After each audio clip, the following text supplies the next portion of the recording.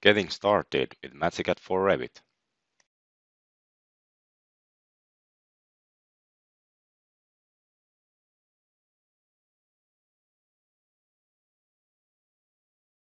You will receive a MagiCAD delivery email from us when you have purchased the software. In the end of the email, there are the link to our portal where you can download MagiCAD and also your license ID. With this license ID, you are allowed to use MagiCAD. This video is made for a standalone license, but we also offer network licenses. Once you have moved to the MagiCAD homepage via link, you can download MagiCAD. There are different pool of software to download depending on your license type. In this video, I will download the latest MagiCAD for Revit version.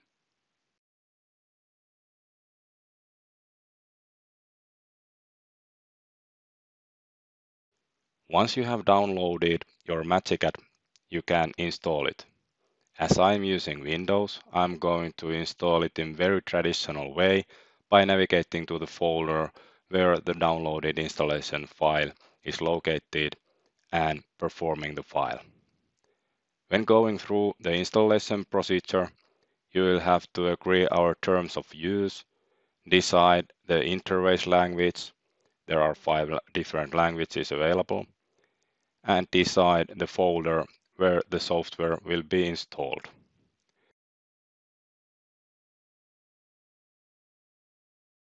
Whether you want to check through some more information about Magic Create, MagiCAD plugins, or if you are experiencing any issues, you can just click links in the last phase of the installation.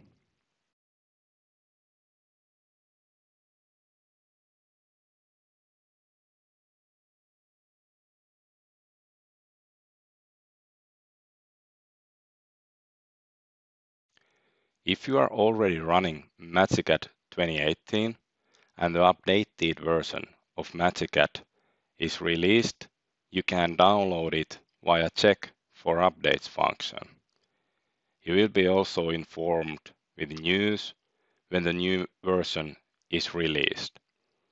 When you have downloaded the new version, you can install it the same way as shown in the MagiCAD installation video.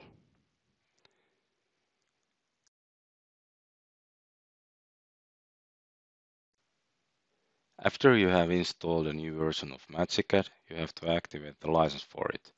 Open MagiCAD License Management utility. If you are existing user and you have been using MagiCAD, you have to first return the old license. Select the existing license and return it. After this, add activation ID, copy the new license ID found from license delivery email and paste it here. After the new license ID is added, activate it.